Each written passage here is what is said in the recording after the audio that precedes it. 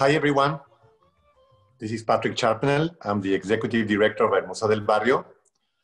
Welcome to the very intimate guide tour to the, the Diálogos section in Frieze Art Fair, New York. Uh, let me introduce you to curators Susanna Temkin and Rodrigo Moura, who will be guiding this experience. I would like to thank our sponsor, Tequila Dobel, who has supported not only in this occasion, but El Museo del Barrio in different uh, times. So welcome everyone and please enjoy uh, Diálogos. Hello, hi, uh, good evening everyone. So it's my pleasure to be here today with Patrick and Susana. Together we curated Diálogos uh, for its uh, second year.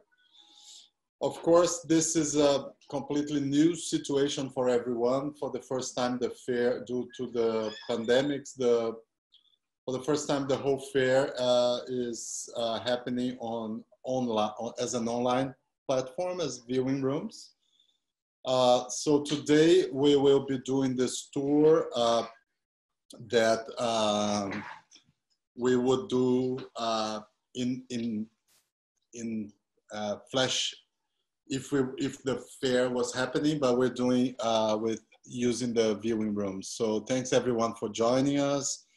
And thanks also Suzanne and Patrick for the partnership on this. Uh, so uh, if I may just start by saying a few words about the section in general, uh, I would like to say that this is, as I said, the second year of this collaboration between uh, Frieze and El Museo del Barrio. El Museo as the leading institution uh, of uh, Lat Latino and Latin American art in the United States uh, proposes this solo presentations by 12 different artists, uh, both working in the US and in Latin America. So in terms of what's new in this uh, year's iteration of the section compared to last year's, uh, I would say that, of course, Patrick and, and um, Susanna did a great job last year, but I wanted to add more as a newcomer to the team.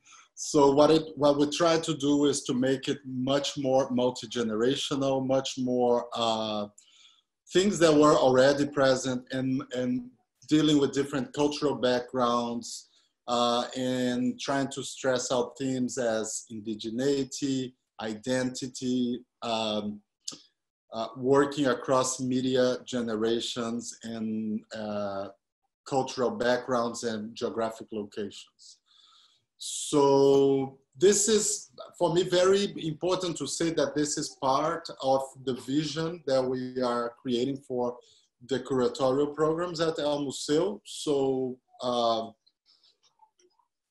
it's some, some of the things that we will see here are, uh, resonate to some of the uh, artists or themes or exhibitions that we're proposing for El Museo's program without necessarily being the same artist, but just uh, having uh, different uh, interests in common, right? So I will start by uh, walking you through the some of the some of the sections, and then I'll I'll hand it to Susanna Temkin, uh, so she will complement this presentation. Uh, but also, let me ask you also to uh, mute your computer so we avoid any background noise. And I'm actually very happy to start by Almeida Endeio, Galeria de Arte. Almeida Endeio is an important secondary market gallery based in Sao Paulo, who's doing a lot of uh, curated exhibitions um, and in partnership also with different galleries in the country. So they, I would say they hold a quite a unique presence uh, as being uh, like a classic secondary market gallery, but also doing partnerships with different galleries and, and, and, and collections and even museums in, in Brazil. So uh, we invited them to participate with Mestre Didi. Uh, and that was um, very, I mean, for me, very important uh, participation in this year's section because Mestre Didi was a very high, uh, highly graduated priest in the candomblé tradition in Brazil. He was actually, he was the, the supreme uh, priest in the cult of the Egunguns, which is a specific cult in Candomblé. So he was born in the, he was the son of a very graduated lady, my, uh, Mãe Menina.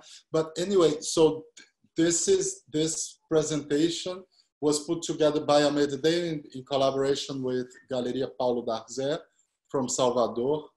And it's, uh, it's really a wonderful um, selection of these um, sculptures that Master Didi had created and has created and, and, presented between the 1960s and the early 2000s in Brazil. So he was, just to give you some context background on Mestre Didi, he was one of the few Brazilians that was included in Magicien de la Terre. And if you, if you know the history of exhibitions a little bit, Magicien de la Terre was a groundbreaking exhibition organized by the Pompidou Centre in Paris in 1989 by Jean-Hubert Martin. And so together with Cildo Meireles, who's, a, by the way, another participating artist at this year's Diálogos, they were the two Brazilian artists included in that show.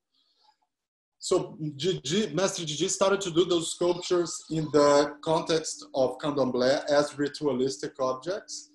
And he was also a very, very important researcher of the Nagô and Yoruba traditions in Brazil.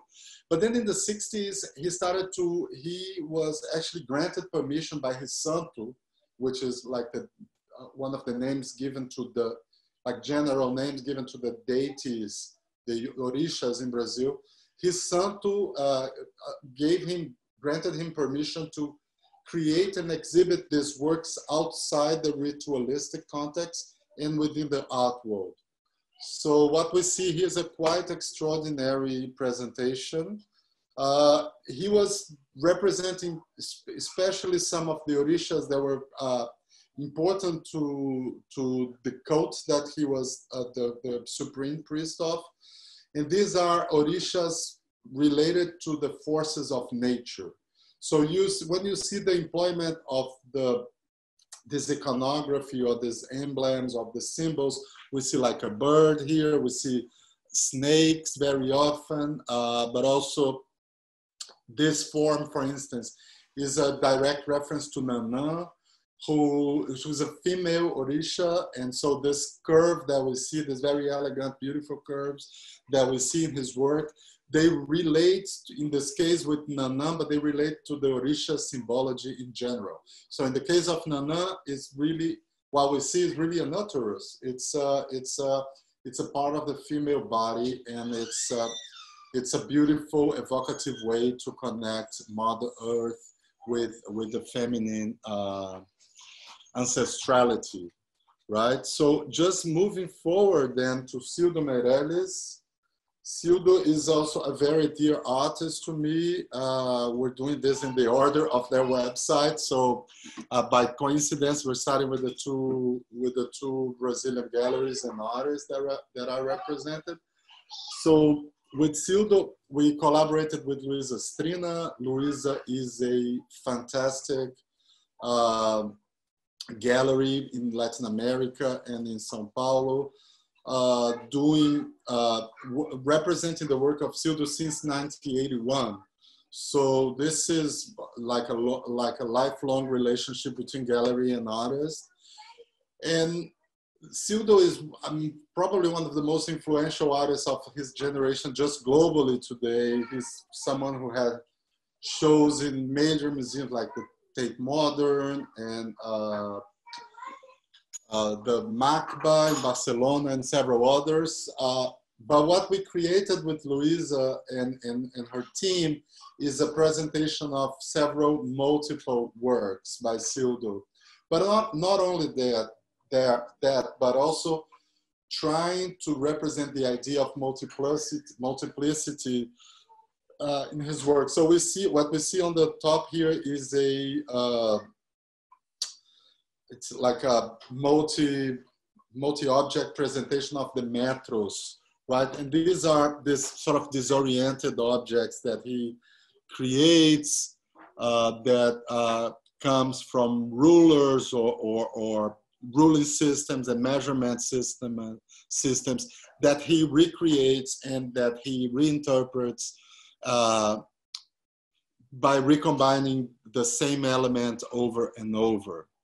So throughout the presentation, we see several of his more recent multiples, like this, uh, this unpaired pairs, which is this, uh, this pair of glasses. So he's really playing with the ideas of, with the idea of the pairs and the reflections. Uh, so this is a work uh, that's relatively recent.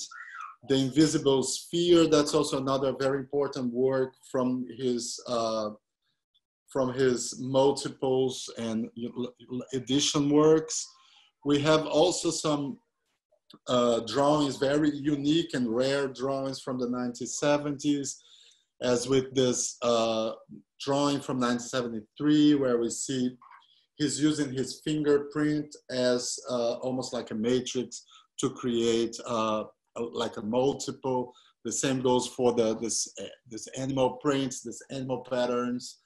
So it's it's really like a mini survey of Cildo's work uh, or this wonderful multiple uh, that multiples that we see on this on this part of the section of the presentation that refer to larger scale installations of his, like the eggs with America and the clocks with uh, Fontes, the and more towards the end of the presentation, we see some of the, the bank bill, the bank notes, uh, both the ones where he would stamp message onto and return back to circulation, or the ones that he created in the 70s, like the zero dollar or the zero cruzeiro, which was then Brazilian currency.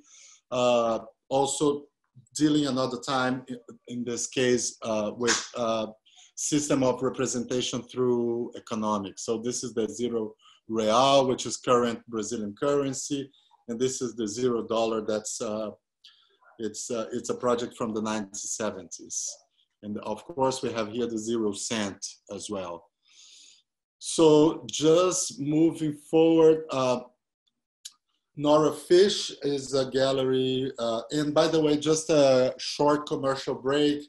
I encourage you all to return to the viewing rooms and spend time uh, other than this tour, seeing the the presentations, and also there's the there's like a like a, a functionality here where you can sign their presence book, and that's a way to make the those presentations more uh, humane and you know to express you know this your presence there to make sure your presence uh, there is uh, not unnoticed.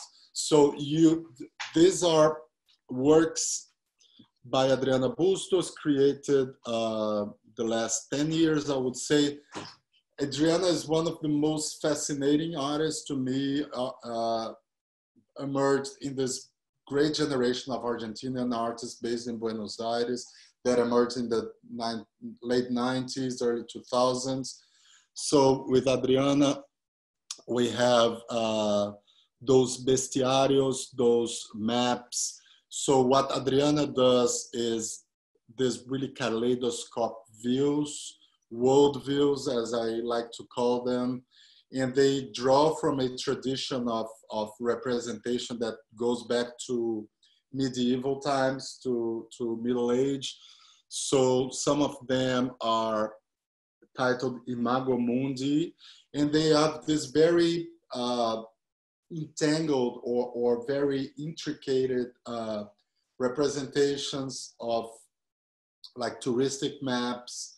In this case, she's examining uh, how Miami, on the image on, I guess, your left, uh, how Miami became such an important uh, tourist destination. So she, and so she creates this sort of almost diagrammatic uh, kaleidoscopic views by using drawing, by using text, pattern, and other um, visual uh, methods of, of, of, representation and of di this discourse. So also interesting to point out this new body of works that Adriana's uh, that Adriana has prepared for the section. It's called the Burning Books, and that what she's doing is this uh, beautiful assemblage of both uh, hand drew, hand drew or hand painted or photographed reproduction of book covers of books that have been censored uh, and that have been put in different uh, banning lists or indexes throughout history, both in back in the days and, and more recently by the church, by authoritarian regimes in the world. So what she creates here are these panels of um, of of almost like memorials to freedom of speech of of um, different books and their covers through different books and their covers. So uh, I'd like to just move forward to to Ruiz Healy art, and that's that's also one of the wonderful things that it's part of Dialogos is to really devote a strong focus to Latino Latinx artists uh, practicing in the U.S. And with this uh, presentation, we collaborated with Ruiz Healy Art. It's a very important gallery in Texas, in San, based in San Antonio that uh, have worked with different generations of Tejano, of Texas-based Mexican or Mexican American artists. So in this case, we we are very very proud to be presenting a selection of more recent uh, portraits by Cesar Martinez. Cesar is has been creating this series of both uh, female and male portraits of, um, of people since the 1970s. As, of, as a matter of fact, he participated at the next of an exhibition at El Museo in the mid uh, mid 98 mid 1980s called Mira, where he presented already this uh, paintings from the series. They called the Batos or the Pachuco series, and so these are very meticulous uh, renditions, representations of common types, right? So they are not specifically portraits of anyone, but they are common types that he had encountered through his life as this very, I would say, uh, archetypical figure of the, the, the, the Batos and the Pachucos. So very beautifully. Also, there has been some amazing drawings included. I visited Cesar when I was uh, in San Antonio back in February this year, I guess, uh, when it was still possible to take a jet and go somewhere else. Uh, and I, I spent some time with him in his studio and I browsed through his uh, files of drawings to to help informing the selection of these works. And, and these are magnificent, very, very, very beautiful drawings. And what fascinates me the most about this work is how he really creates this idea of, out of this idea of repetition, right? So when we were talking about his art, we shared uh, notes about some of the artists that I think wouldn't make sense in relation to his work. And I brought up the name of uh, Francis Bacon, and he really responded to that. So this idea of the repetition of this very sort of set, very set compositions with very little uh, changes in gesture, in posture, in position, that makes this work, you know, of repetition, of seriality, very beautiful and very poetic, as we can see from these images. And I asked him about the backgrounds because he's a master in the use of color, as we can see, you know, in this beautiful chords of color, combinations of colors.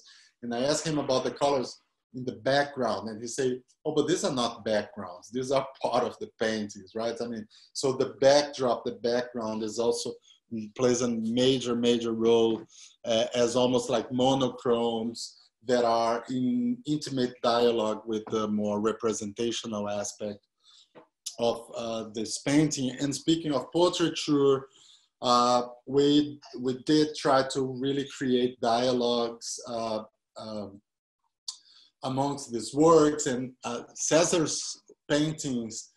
They uh, they really talk about gender and race in a very uh, sophisticated way, and so does um, David Antonio Cruz, who's the next artist I'm presenting to today. So David is showing his work with Monique Meloche, who represents his work, uh, and it's a it's a gallery based in Chicago. And me and Susanna, we were doing research in September do, with the patrons trip to, in September to to Chicago, and we had the chance to see this beautiful show of of David that we can see an installation view of. And this, so he he he is continuously creating work around this research that he started maybe two, three years ago around uh, portraiture, which is of course core to his practice. El Museo has a really, really wonderful self-portrait of David's in his collection as a, is the Puerto Rican Pieta. It's one of the most beloved uh, contemporary works in our permanent collection. But this is this body of work here continues uh, David's exploration on on gender and race, and specifically on queer uh, histories within the Latinx community, and that speaks of intersectionality, which is a very important aspect of just understanding Latinx um, as a term, as a gender neutral term. And these are most of them are portraits that were created by David, uh, departing from internet images that he researches and sources around uh, homophobic and, and transphobic violence in the United States. So what these portraits are ultimately are really uh, memorials or acts of rem remembrance and, and grieving and mourning.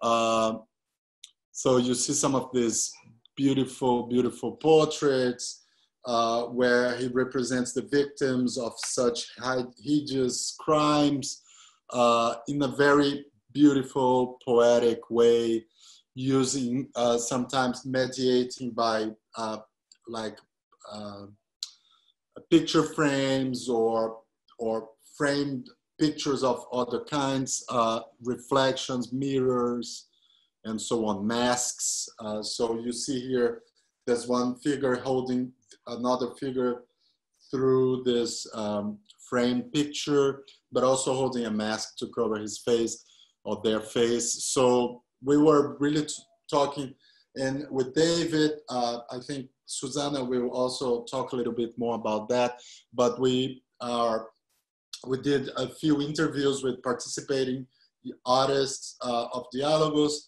and David's one of them. And we discuss um, lengthy the, the use of the face, the use of the mask as a resource, as a, uh, as a element in his uh, portraiture work. So just moving forward, uh, I would like to introduce my last uh, presentation.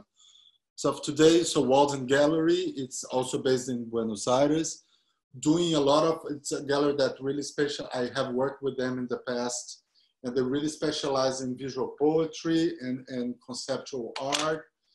And, um, and when we say conceptual art, we're not talking about uh, the more uh, northern hemispheric version of conceptual art, but, but about the conceptualismos that were present in different parts of Latin America uh, in the 60s, 70s, and 80s.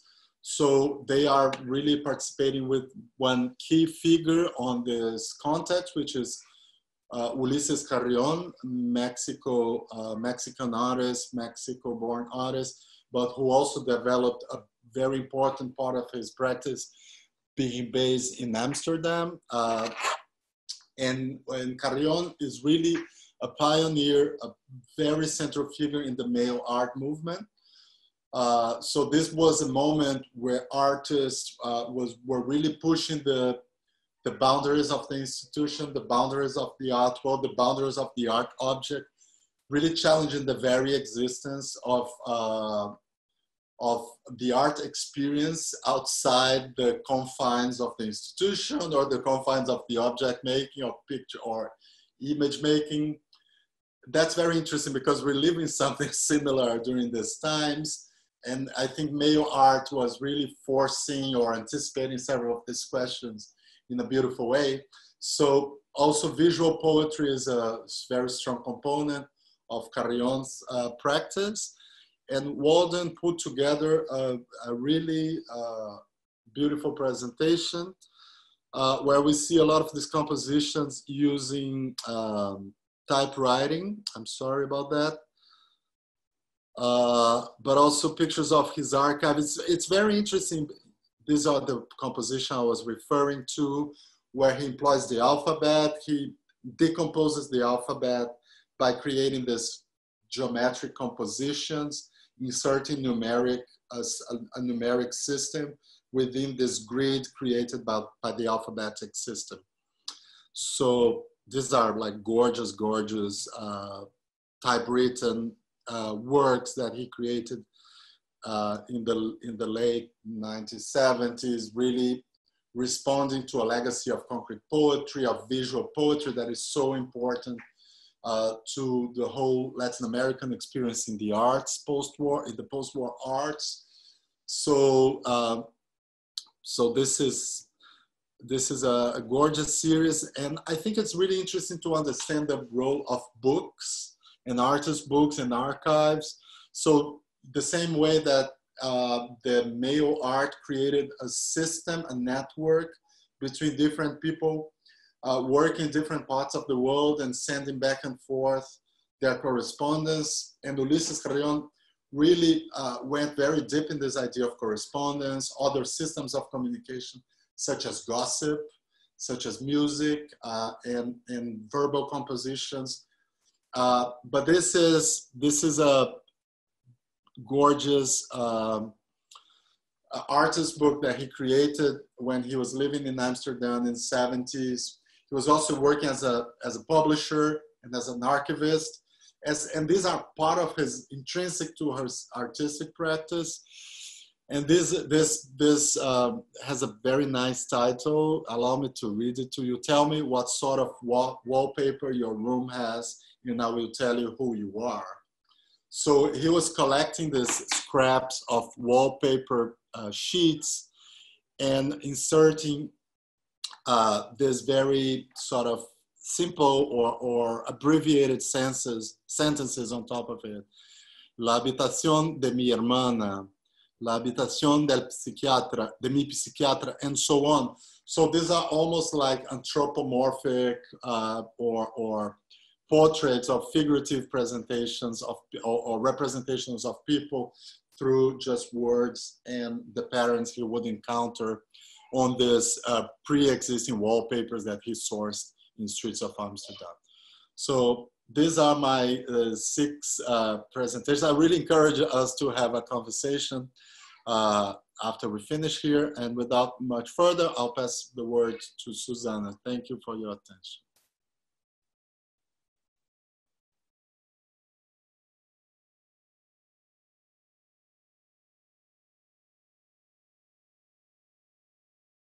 Hi, everyone. I hope you can hear me as I load up um, the Dialogo section. Uh, it might be virtual, but hopefully you haven't gotten any fair fatigue yet because we have six more artists to show you, um, and I hope you'll stick around for them all. Um, just to start, uh, we'll start with Galeria Patricia Ready from Chile, our southernmost um, gallery participant in this year's Dialogos.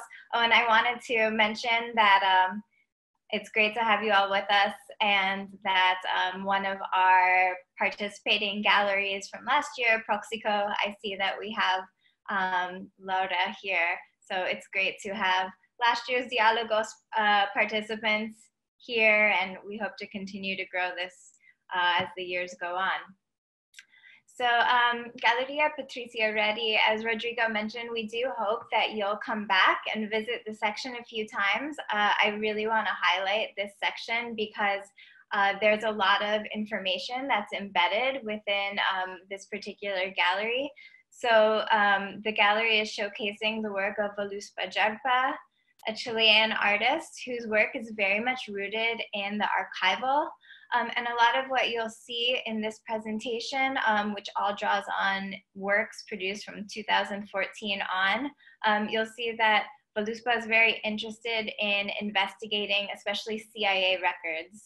Uh, so I wanted to point out these first two works in the gallery, um, the Judd vertical and the Judd cubos, because of course, um, it's interesting to think about these being presented in New York Frieze at the same time as the major Judd retrospective is happening at MoMA. So, you know, you can zoom between a Frieze viewing room and look at um, response to what Judd is doing and then visit over at our neighbor, um, the Museum of Modern Art. Um, this uh, video that you see on the left, translation lesson, lessons, uh, I think is also, it's a really interesting, almost an introduction in a way to um, the artist's work because it really gets to the heart of her interest in, well, semiotics, but also her interest in digging into the records and really dissecting information. So um, this particular video, which I believe you can watch a snippet of um, if you come back and visit, you'll see that the artist has been trying to learn English via the writer Nicolas, Nicolas Poblete. Um, and so this is a record of her learning English, but learning it by translating CIA records once again. So again, this, this deep-seated interest in investigating these um, once censored files. And I just want to point out there's so many works in this uh, particular show. It's like a little retrospective or, or recent works. Um, but this image that you see on your right, the foundation of the Banana Republic, it's a very interesting installation with a multi-channel videos in which the artist actually uses um, some of the footage that the United Fruit Company was using to try and promote um, banana consumption uh, among US audiences. And again, digging into um, different links between the company and, uh, and governments involved. So with that, I will move us into our next gallery, um, which is Gallery Luisotti. Um, Gallery Luisotti is presenting the work of Christina Fernandez, who's a Chicana photographer uh, Rodrigo mentioned that we have been conducting interviews with some of the participants. So I had a really wonderful conversation with Christina Fernandez that in the coming uh, days, you'll be able to watch a video of. Um, we'll be promoting that through El Museo and through Frieze. Um, but it was very interesting for me to hear that um, Christina's work, even though she hasn't been to El Museo, but it had been presented, um, this particular series, her Lavanderia series, at El Museo as part of the Phantom Sightings collection. Um, so again, if you watch the video, you'll be able to see the installation of this piece. Uh, and this is really one of her most canonical pieces in which she um, takes frontal images of uh, laundromats across the city of Los Angeles. So um, Christina is born and raised in LA, and she says that the city is very much um, the backdrop to all of her work. So she really considers herself actually a landscape photographer. Um, and her photographs are extremely painterly. Um, a lot of times there's multiple layers that uh, she captures through the lens. Uh, I want to point out another work because I feel like it's just so timely, unfortunately, for our current situation um, what you're seeing here, this window series, it's actually part of a larger series called Views from Here, in which um, Christina Fernandez goes to visit um, oftentimes artists' homes, and she takes images from the inside looking out um, of the windows. So I'm really captivated by um, the image that you see on the left with the pink curtain. Um, this is the view from the fellow Chicana photographer, Laura Aguilar, um, who sadly passed away two years ago. So in a sense, this is an homage to Laura. Um, these are all self-portraits of each of these artists. Uh, but this particular image was taken from Laura's bed. And it really, I think it reiterates, at least with me, as I'm sitting before a window talking to you all, these kind of viewpoints that we're all looking at right now. And um, before I move away from Christina's presentation, I want to talk about um, one more piece because it was very exciting for me to see that this piece would be presented at Frieze New York. Um, what you're seeing in these top two images are from her Untitled Farm Worker um, presentation. This was a presentation that she first created when she was a student, when she was getting first her um, BFA, and then she recreated it as um, her MFA. And in it, it was originally an installation dedicated to uh, farm workers who had lost their lives either due to the conditions of pesticides or because of their involvement with um, labor strikes or organizations. Um, so it originated as an installation with dirt on the ground in which these cards, which um, describe the, the names um, and sadly the deaths of these uh, farm workers, almost like a tombstone embedded into the earth. It grew from there into this photography series that you see on the right, which takes on almost um, a minimalist conceptual gesture as well. And then for the first time in 30 years, um, what you see on the left is uh, Christina Fernandez's reconception, reconfiguration, going back to how she would um, choose to install this work today. So uh, what you're seeing in the Gallery Luisotti booth is very much a retrospective of her work. She's uh, Christina will be having an exhibition in a few years, going back through um, all of her different bodies of work. So it's a wonderful way to introduce yourself to this artist if you don't know her already. From there, we'll look at a, um, historical artist through the Henrique Faria booth, Alejandro Puente, um, who is a, an artist who actually, he's Argentine, but he actually lived here in New York between 1967 and 1971.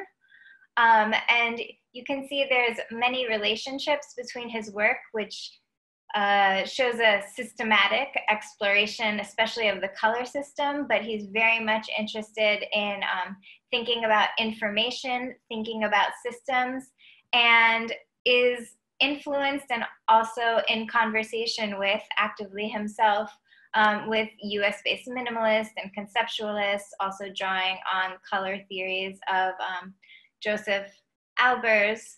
But for me, what um, I find really so compelling about Puente's work is how he thinks about some of these chromatic systems in terms of um, Amerindian textile production.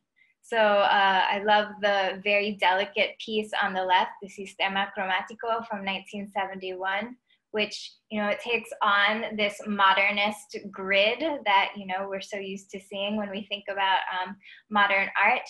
And uh, interjects it with uh, the thought of um, a textile loom, weaving in uh, the primary and the secondary colors um, over and under. Um, in further examples of um, Puente's exploration of some of these Amerindian sources, of course, you can see um, the Nazca, where the title calls out or references this very um, bluntly. This particular work is made on cork and it recalls some of the decorative motifs that you might see on Nazca pottery, for example. And then going back to the top, um, I love, I hope you can see, um, this rainbow-like banner called Unco, Unku, excuse me. Um, and uh, Unku is a word that refers to um, an Incan tunic. And so you can see how, uh, again, thinking about this color system, how Puente is really marrying these um, various connections into his practice. So with that, um, happy. Uh, a number of these artists, they share common interests in indigeneity, um, and such is the case with the presentation by uh, a joint presentation between um, Kasmin Gallery and Peana Projects, which is a, a, Mexican gallery that has an outpost here in New York, actually. Um, and what we're seeing here is the work of Tezontle. So Tezontle is a collective of the artists Carlos Matos and Lucas um, Cantu. Um, and their word, the Tezontle that they've taken on as their name is actually a Uh, can you hear me? I, I hope you can hear me. Okay, great. Uh, it's a Nahuatl word that references a, a, a, type of volcanic ash that's known for its red tint. So um, some of that is, uh, is evoked by the words that you're seeing here. Um, they're very experimental. A lot of their work, it, it combines the architectonic as well as the sculptural. Um, they are very interested in pursuing like the limits of what they can do with concrete.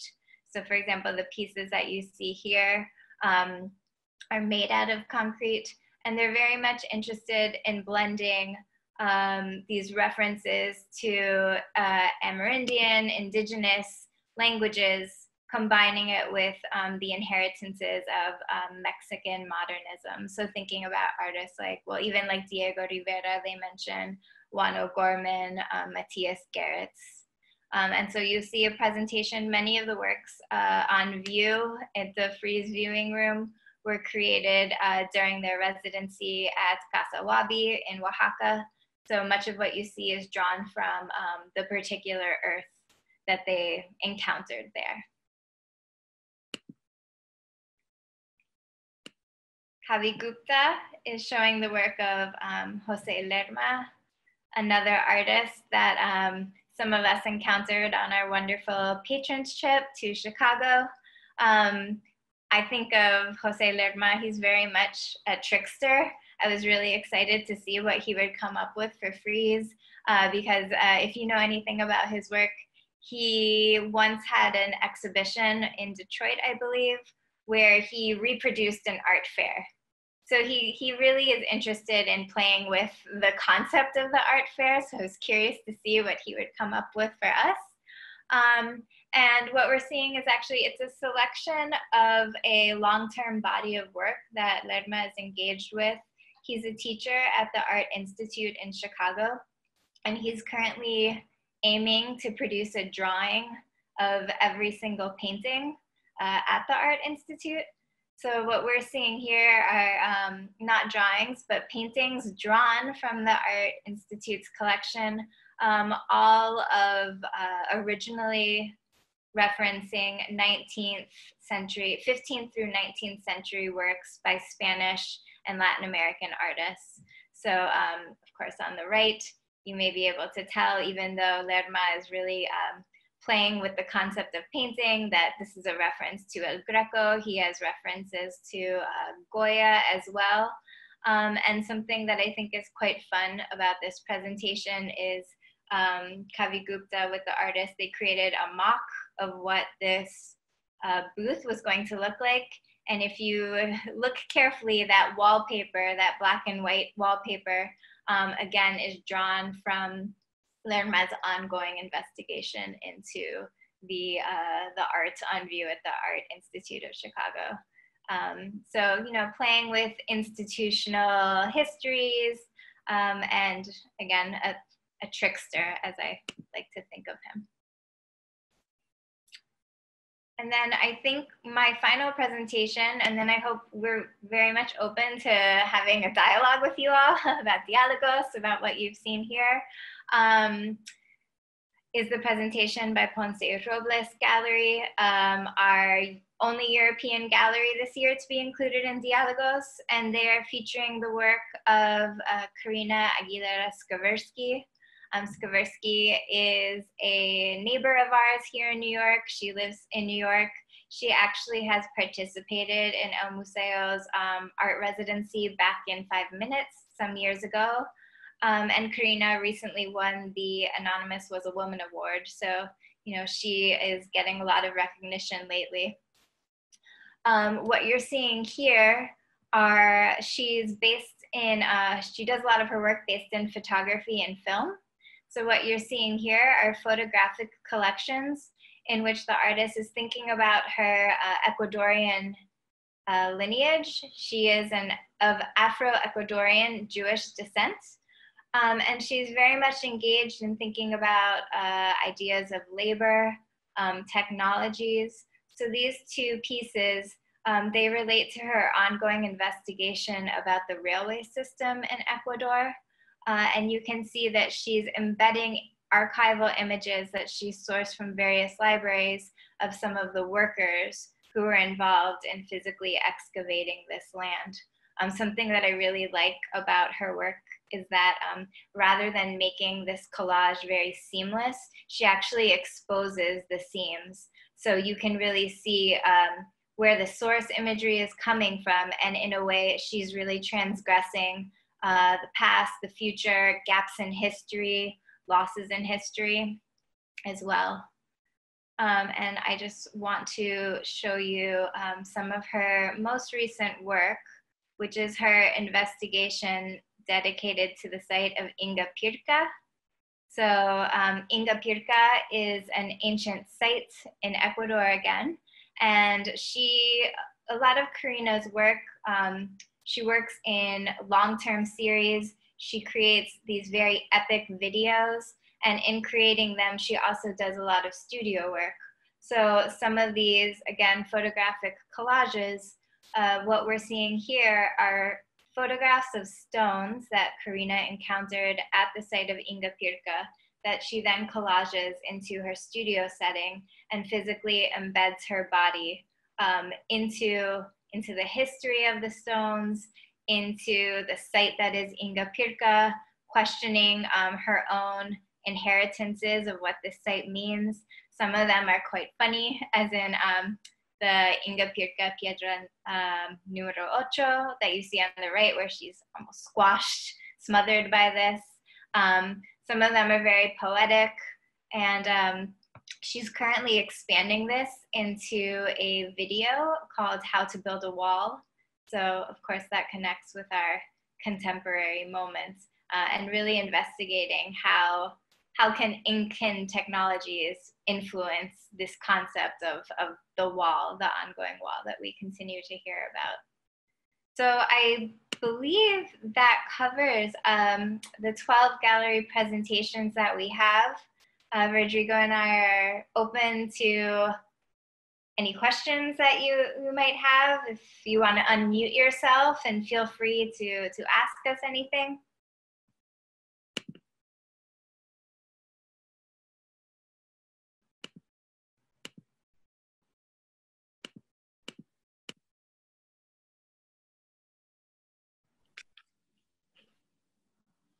It sounds like someone came off a mute, so.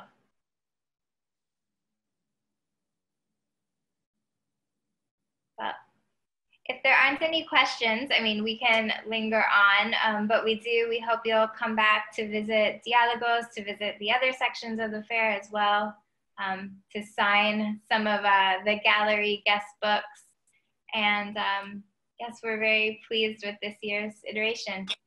Yeah, I would like before we go, I, I, I have uh, first that uh, the section was recognized as one with one gallery as uh, uh being one of the best booths in the fair, virtual booth, and um, and at the same time, uh, I would just like to uh, to highlight the fact that thanks to Dialogos, now Latinx and Latin American art has much more visibility in the context of the, this very important international art fair. So um, I, I celebrate the fact that uh, Frieze uh, decided to invite El Museo del Barrio to curate this section and the fact that uh, uh, Latinx and Latin American art has an important presence in the context of a very important international event. We have a question here from Elisa Ramos. Uh, thank you for a question, Elisa, and hello. Um, about the curatorial process, if we can talk about the curatorial process. Um, would you like to start, uh, Patrick, because you initiated with Susanna last year? I'm happy to share a few thoughts too. Well, uh, uh, this is the second uh, edition of Dialogos uh, in Frieze Art Fair, New York. Uh, when we were invited, precisely I was, as I was explaining, the purpose was to uh, give a presence and give a voice to Latinx and Latin American artists. But the idea was to precisely establish a, a dialogue, a discussion between uh, Latin America and Latino artists to, to, to, show the connections and also the difference between the production that uh, comes from uh, uh Latinos in, in different areas of uh, the US and also uh, different artists that, that work in different cultural contexts in Latin America. So this is was more or less the, the reason why uh, we started this section. And, um, and I, I, have to say that uh, it, has been quite successful. I think uh, it has had a, a, a strong response with uh, the general public. Um, and I don't know, Susanna, if you want to add something. You, you started with me last year, uh, Dialogos. Yeah, I mean, one thing that I, I think is interesting and that I think um, this section is aiming to, uh, to help with and to change um, is the fact that especially Latinx artists, but Latin American artists as well, um, aren't necessarily as visible on the global contemporary art scale. Um, so that's been very interesting for us to um, to be able to showcase some of these voices um, something that's really interesting is that we have learned that you know some Latinx artists don't have gallery representation, so that's something that we've been thinking about with each iteration of the fair. Um, we're really pleased this year by um, the inclusion of artists like David Antonio Cruz and Karina Skvirsky, both of whom have ties with El Museo, which is just a bonus. Um, and Rodrigo, I'm curious what you think as sort of the, the new person to join. No, no I, I, I just think, you know, Susanna, when we discussed a number of months ago, I said, I think this is a wonderful opportunity to be out there at the fair. You know, I have I have some previous experience with Frieze, right? I was advising uh, Frieze on their frame uh, section for several years uh, I, I, think I did three three times in London and two times in New York, and also SP which is a São Paulo art fair. I did a couple of solo sections there as well, and I think it's really interesting. I think it's it, I really believe that that uh, it's a it's a great opportunity to put great people together in conversation. So that's why I really love the name of of the section Diálogos, right? So we can see several dialogues going on, right? The first, I think it's one dialogue that the museum has been able to enable through its program, through its mission, is this dialogue between art produced in the uh, Latin American, Caribbean diaspora in the United States with, with art produced uh, in, the, in the Latin American countries, right? So art from Latin America. So I think that's that's that's one interesting dialogue. But also, I would say that I I tried, you know, with with like Alejandro Puente, for instance, that you were presenting about. I think that's really fascinating that he was creating work with a very strong Latin American component, but in the U.S., right in the '70s. So really reacting uh, to U.S. art, to minimal, to hard, hard edge abstraction, which was really on vogue in the 60s here, but making it more indigenous, making it more organic, making it more um, lived, more vital in a way. So I think this is this is another thing you know that we're trying to do. It's really use this as a way to reflect upon the museum program, to reflect upon what's uh, what's possible for the museum to do and to reach in terms of curatorial speech, in terms of curatorial research. Uh, I think we did a uh, we did a great deal of traveling in the U.S. because the research uh, um, for Dialogos this year's Dialogos was concomitant to the traveling research of, uh, of La which is an exciting program we're doing uh, uh, soon. Uh, so we managed to go to places and visit artists or see exhibitions that are reflected uh, on this on this section in their presentations. So yeah, so that, that's it. And I would like also to add that uh, brings complexity to the discussions around cultural identities. I like very much, for example, the fact that you choose um, uh, Ulises Carrion, who was Mexican, but he, he came from the field of literature. He went to live to Amsterdam and became a conceptual artist. And, and this, this complexity about this Mexican that was originally a writer that becomes a, a visual artist uh, doing visual poetry and, and operates from a to totally different context as, as Amsterdam. I think this is really fascinating and interesting to, to, to, to, to bring this, this uh, um, as I was mentioning, complexity around how an artist can build his own identity, not, not, not only his identity, cultural identity, but also uh, the, the, the, fact that he comes from, from one field, shifts to another, and, uh, and becomes something else. So uh, that was quite, quite interesting for me. Yeah, I want to just add to that, Patrick, that so many of these artists have that sort of trans um, disciplinary and transnational backgrounds. I forgot to mention that Jose Lerma, for example, is a perfect example. Born in Spain, raised in Puerto Rico, living in Chicago.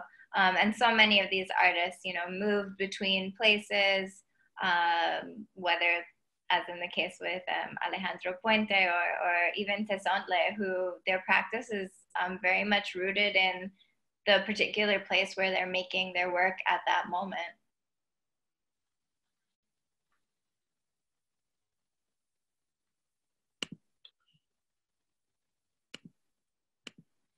I don't think I, I don't think I have to, so much to add, but I it's uh, certainly it's it's really a conversation. It's really a dialogue. No, I think the the other, uh, in terms of coming from one field to the other, you know, if you think of Mestre Didi coming from the spiritual field, you know, producing originally those objects to in the in the in the context of, of rituals and then being able to present them uh, as an artist as a visual artist that's that's one one one of the most interesting things to me as well but also the fact that El Museo is rooted in so much of the Afro-Caribbean heritage, right? Of the, the, the, Yoruba heritage. And so it's really a privilege to be able to present his work within this context.